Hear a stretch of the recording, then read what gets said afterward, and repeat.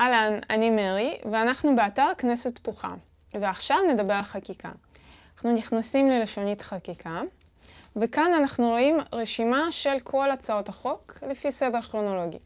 יש לנו כאן רשימה ארוכה, ואנחנו נרצה לחפש ברשימה הזאת. לצורך זה יש לנו מצד שמאל אפשרויות לעשות סינון לפי פרמטרים שונים. בואו נחפש לפי תגיות. כאן בחרתי תגיות ואני בוחרת אופניים.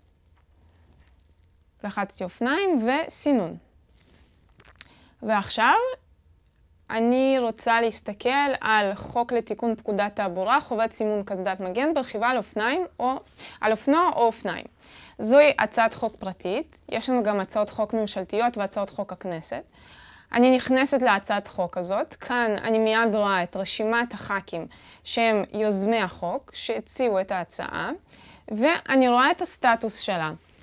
אני כבר יודעת שהיא הוקפאה בכנסת הקודמת, ושהציעו אותה פעמיים. היא הגיעה לקריאה טרומית, היא עברה את הקריאה טרומית ברוב של 18 קולות, הגיעה לישיבת ועדה ב-3 למרץ 2014, ושם היא נעצרה. בואו ניכנס ל... נלחץ על התאריך, וכאן נוכל לראות ממש את לשון הצעת החוק, ונוכל לראות את כל הטקסט. אנחנו סוגרים, ולמדנו על חקיקה. להתראות בסרטון הבא.